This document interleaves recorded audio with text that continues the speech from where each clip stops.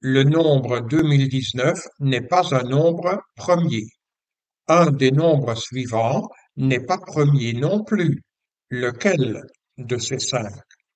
En fait, le nombre 2019 est divisible par 3, parce que la somme de ces chiffres, c'est-à-dire 12, est également divisible par 3, et par conséquent 2019 n'est pas premier.